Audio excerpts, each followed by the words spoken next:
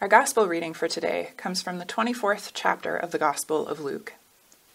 Jesus said to the eleven and those with them, These are my words that I spoke to you while I was still with you, that everything written about me in the law of Moses, the prophets, and the Psalms must be fulfilled.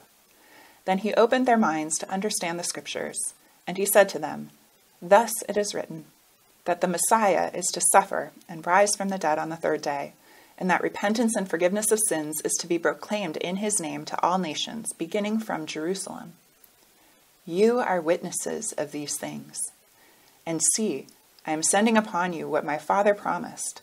So stay here in the city until you have been clothed with power from on high.